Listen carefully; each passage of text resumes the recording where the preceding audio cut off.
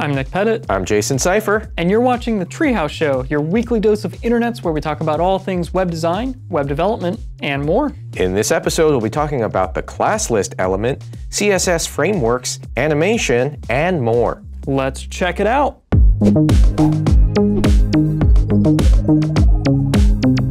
First up, we have a blog post over on the HTML5 Doctor website about the class list API in JavaScript. Now, prior to the class list API, if you wanted to get a list of classes that an element had, well, there's a whole bunch of JavaScript that was involved. Uh, and you know, plugins like jQuery would make this a little bit easier to work with.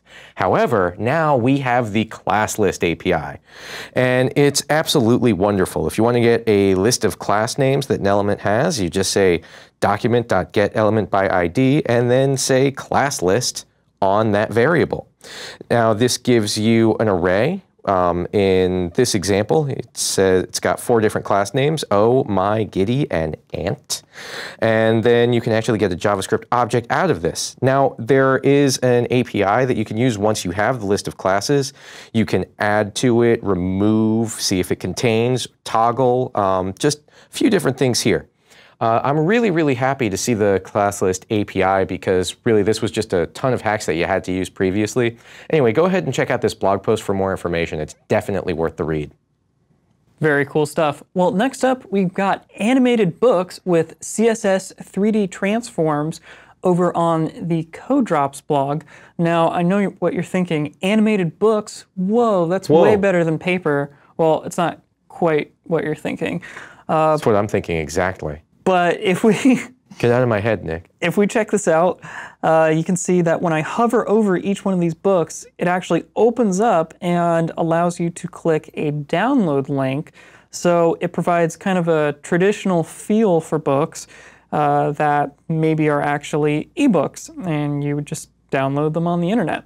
They also have an example of paperback books that do a very similar thing, so you can hover over these and maybe download them or see a preview and so on. If we go to the Codrops article and scroll down here, we will see right away that support in Internet Explorer is a little bit questionable. I haven't looked, but I'm assuming that's because Preserve 3D is not really supported there. But it's a cool example nonetheless. The way that they're constructing the 3D object is by using pseudo elements to provide a little bit of uh, little bit of thickness to each one of these covers and pages. And then they use transitions, or I'm sorry, yes, transitions and transforms. And if we scroll down here a little bit more, you can see that they're using the nth child pseudo selector on each one of the pages, which are actually in the form of a list, and they just delay each page by a little bit to give that nice smooth opening effect where a few of the pages kind of flutter past. Pretty cool stuff. I'm actually very impressed by this, and I'm also impressed by just how little code you need to actually do that. Yeah, Very cool stuff. The demo is really impressive. I'd like to campaign for getting the Cliff Notes when you hover over the book element. It's a good idea. Yeah, sa save me some time. Always thinking. Yeah, always looking for a TLDR. Next up, we have a quick blog post on animated GIFs the hard way. Now, um, this is really interesting. This guy was designing the website for Sublime Text 2.0, and he actually wanted to demonstrate the features via an animated GIF on the site. Uh, but instead, he wound up doing something pretty amazing. Uh, he took a series of PNG screenshots, which he wanted to display, and wrote an encoder, which just takes the metadata of the differences between these PNGs and then displays it in the browser. That is amazing. Yeah, it is pretty amazing. Um, it actually saves um, a lot of space when creating these animated GIFs. Uh, the GIF was one meg in animation, and this is a lot less than that.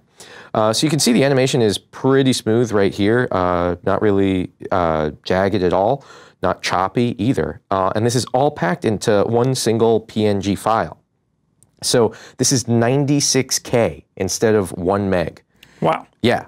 Um, so it's really interesting. The metadata looks like this. It has a timeline with the delay and what parts of the image need to be changed. And you can actually download the encoder Uh, he has a link to his GitHub account here where he has the animation encoder. And then you just run it with a directory that contains all the different images you want, and then you are good to go.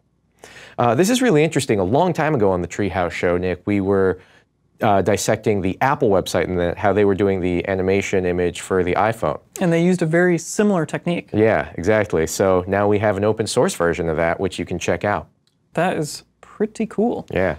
Well, next up is Topcoat, which is basically a CSS framework that evolved from the design language used by Adobe in products like Edge and Brackets.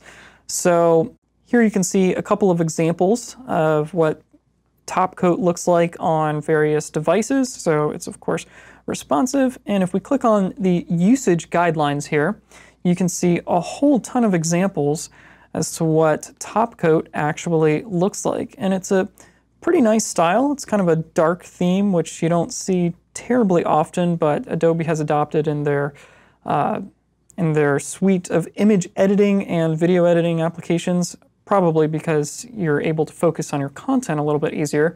But I kind of like it, and they use some very common design patterns, such as the three-line bar you see here that is used all over the internet and across many different websites. Uh, the thing that I think I really like about Topcoat is that it's very performance focused, which, as we've discussed in past episodes, is very important, particularly in mobile web applications. So, not a whole lot to say about it, but it's just a really nice CSS framework, and I highly recommend you check it out. Very, very cool. I really like the name too. It's very dignified. Topcoat. Yes, yes, it is. Uh, next up, we have a project called Kinetic.js. This is billed as enterprise class interactive web graphics. So this is going to be another library that's going to be really useful for creating games and really rich graphics on the web. Or going into outer space since it's enterprise ready. Oh, there you go. Engage. So um, it supports a ton of stuff. It works with HTML5, Canvas, and JavaScript. So you get high performance web animations, transitions, node nesting, layering, filtering, caching, event handling for desktop and mobile applications, and much, much more. Wow, I just said all of that. So let's just see an example. Let's see what you can do. This is a game called Humans, Aliens, and Robots. I'm just going to click the go button, and look at that. Guest 1375 has, has joined the fray. Wow, that's amazing. I- Isn't it? Careful, Jason. You're wearing a red shirt. I know, I You know. might not make it out. So um, yeah, there's there's not. Uh, I, I have no idea how this game works, but you can see the graphics are really really smooth so far, and uh, I, I can zoom in and out, and it's actually pretty performant. Um, but anyway, there's a there's a ton of different demos that you can see here, and it's really really interesting to see how it works. So basically, you get a stage which is composed of layers, and from these layers you can add groups of images or shapes or something like that. Uh, once you get there, there is a very, very rich API that you can use to interact with all of these different elements and remain performant while you're creating these web applications. Uh, I really, really recommend checking this out and just viewing the whole library. There's great documentation on there. You can find that in the show notes at youtube.com slash gotreehouse or search for us in iTunes at The Treehouse Show. Pretty nifty stuff. Well, have you ever been on, say, Amazon.com Yes. or really any website where you're buying something and you're typing in your credit card information? Usually it's kind of a hassle, and occasionally you'll come across a good example where it's like, wow, I can just type in my credit card number and it knows what type of credit card I have, and this looks really good. Well, enter Skeuocard, which actually is a return to skeuomorphism. Of course, the skeuomorphism is a way of designing things so that it, that they look like their real-world equivalents.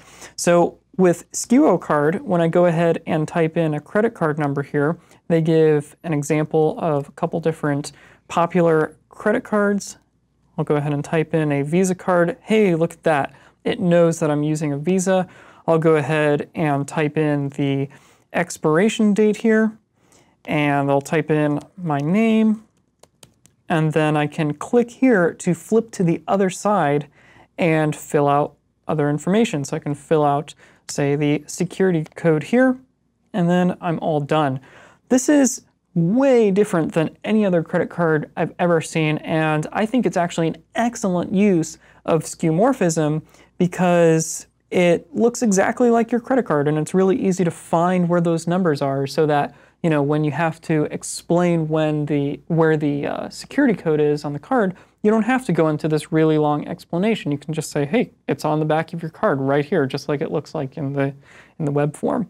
So pretty cool stuff. You can go ahead and download the code and check it out I usually, if I want to order something, just take a picture of my credit card and post it to Twitter or Facebook and ask somebody to order it for me. And then, you know, a few extra things might come in the mail too. Yeah, then you don't even have to worry about, you know, if it looks like my card on the website. That's a good tip. Yeah.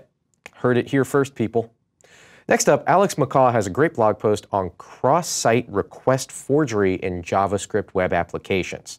Now, cross-site request forgery is something that would let an attacker to the website simulate a request to another website as if it was coming from an individually logged in user.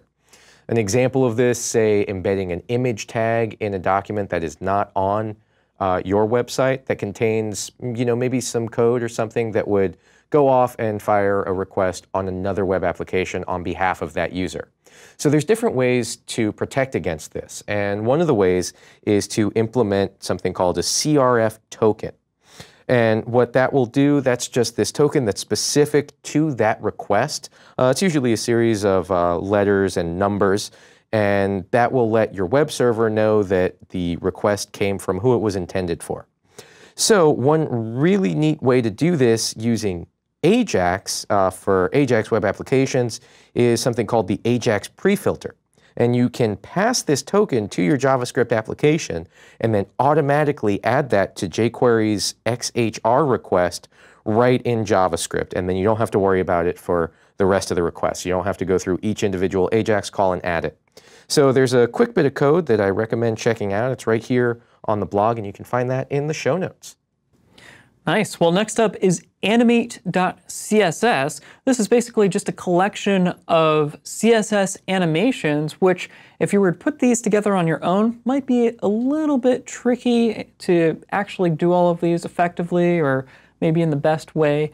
This has already done all the work for you. Wonderful. So if we go ahead and scroll down, there's a couple attention seekers here. So we can click on these. it will actually flash this or do a little ta-da. Apparently that's what a ta-da looks like. It'll wobble it. It can uh, pulse it. There we go. There's a ton of other examples here. Uh, let's see what light speed in looks like.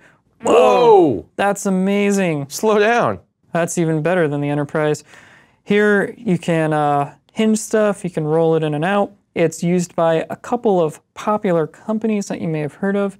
And really, you know, not a whole lot to say about it, but again, putting together CSS animations like this can be pretty tedious, time consuming. You'll end up doing a lot of experiment. Work. Yeah, work. Who likes that? No, you end up doing a lot of experimentation and just changing numbers around and moving back and forth and trying out different stuff when these animations already look great and you can go ahead and just drop them right into your website. So definitely check that one out. Very cool. Well, who are you on Twitter? I am at NickRP. And I am at JSeifer. If you want more information on anything we talked about, check out our show notes at youtube.com slash gotreehouse or search for us in iTunes at The Treehouse Show. And of course, if you'd like to see more videos like this one about web design, web development, and so much more, be sure to check us out at teamtreehouse.com. Thanks so much for watching, and we'll see you next week.